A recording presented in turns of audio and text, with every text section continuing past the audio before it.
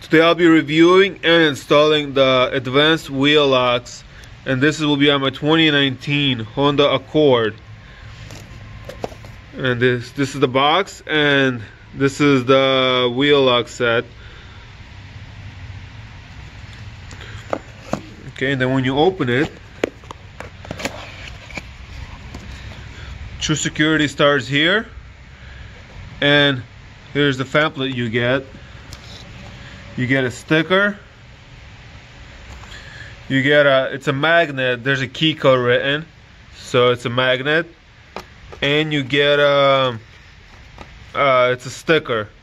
You can stick it anywhere you want. Same thing with the key code. Because you can't lose that key code. You need the key code to replace your socket. Okay and then when you remove the this piece here's your uh, got the, the security locks and uh, the key. And there's also a key code printed on that sticker. It's in the back. I'm not going to show it, but there's your key code too. It's printed. So both of this key has the key code on it. And I bought one with the extra key. So you can buy it with the signal key or an extra key. So I bought it with the extra key. And you get the four the four locks.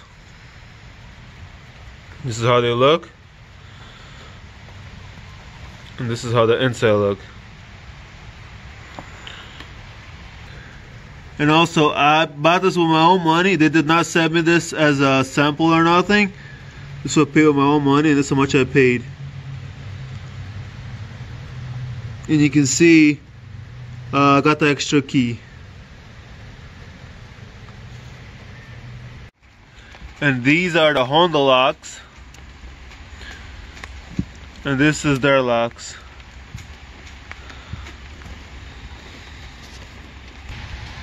And this is how the Honda locks look. That's the Honda key right here. So I have the Honda sport wheels. This what came from the factory from the dealer. And you can see the socket's a little too tight. Too tight. I can't get it out. I mean it, it wiggles but I can't get it out so uh, if I got pliers I can remove it. So it's a little too tight there. So I can remove it. And there's that lock right there. And I added some grease around the ring right here so it can slide in and out easily.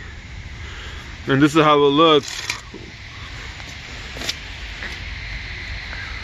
Man maybe I wish it was the black ones maybe I'll throw some paint on this just this here just to blend it in. But overall it's nice. And I'll show you on the on this side. I already got one in too. But on this side I don't know if the rims it slides in easily. So I don't know if that side is just a little tight. Maybe over time it'll it'll glide easier. But overall it's still nice. And I torqued this down to 80 foot-pounds all right so i removed the the honda one and i'm putting theirs on. And first i thread it in by hand. Then i'll grab the tool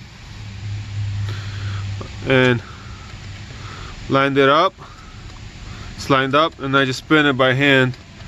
Then i grab the it's a 19 it's a 19 socket. And then i just tighten it Tighten until it stops.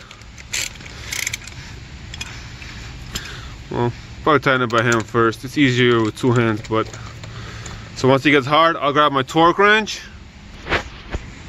So I grab my torque wrench to 80 foot-pounds.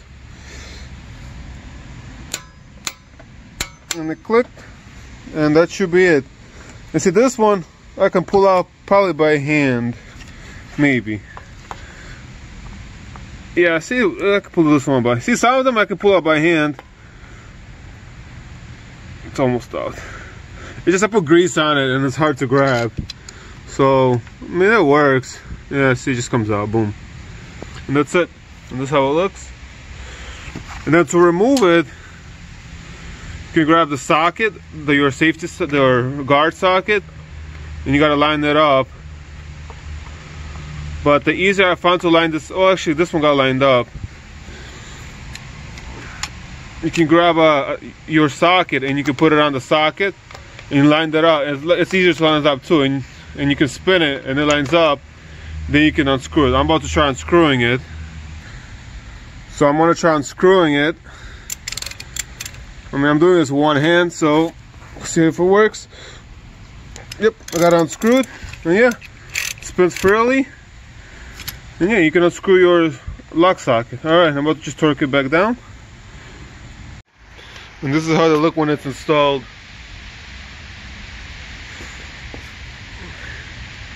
Like I said maybe I'll sharpie this part or paint it or something just this part so it can blend it more but overall I like it